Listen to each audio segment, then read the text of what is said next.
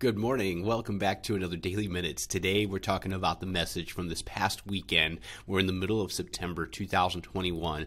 At Element Church, Pastor Erik kicked off a new message series called Overwhelmed. And boy, this resonates with uh, a lot of people, including me. You know, we all get overwhelmed in times. And Pastor Erik really broke down the first part of being overwhelmed uh, in week one. He called it the gift of too much. It just feels like we got so much going on or maybe so much to manage. In fact, we see even this happen to Moses. In Numbers chapter 11, verse 14, Moses says to God, I'm not able to bear all these people alone because the burden is too heavy. If you treat me like this, please kill me here and now. That's what Moses said to God.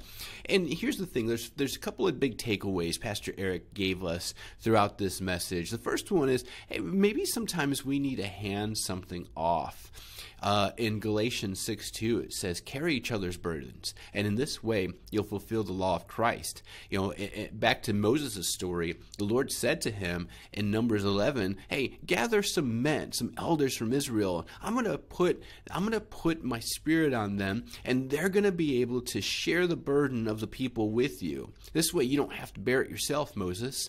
And so we have to be able to be comfortable handing some things off. Sometimes we have to put something down down. And that was the other, the second big takeaway. And uh, in Psalms 119, it says, Turn my eyes away from worthless things, preserve my life according to your word.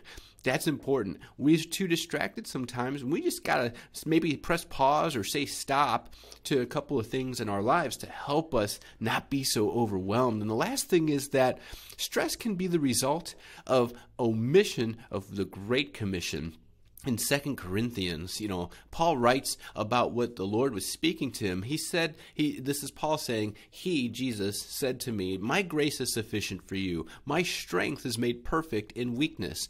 Therefore most gladly, I will rather boast in my infirmities that the power of Christ may rest on me. And so, if we're not connected to Jesus, if we're not connected and abiding in the vine all the time, of course we're going to be overwhelmed because apart from Jesus, we can't do anything or do anything well. And that's just going to lead to a lot of stress. I hope you're encouraged today. What was a big takeaway you had from the message this past weekend? I'd love to know in the comments below. We'll talk soon.